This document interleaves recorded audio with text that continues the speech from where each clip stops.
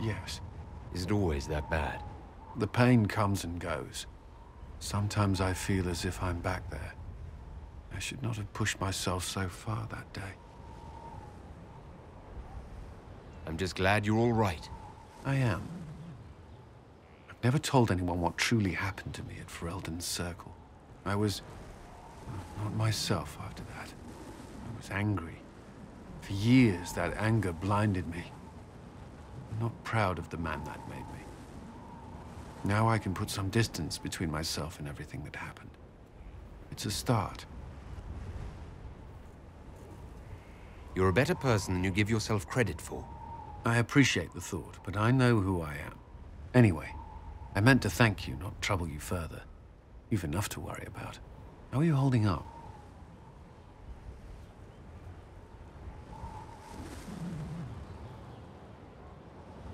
Honestly, I'm terrified. So many people depend on us, on me. Corypheus is still out there. We've made great strides. Do not doubt yourself, or the Inquisition just yet. If there's anything I can do, you have only to ask.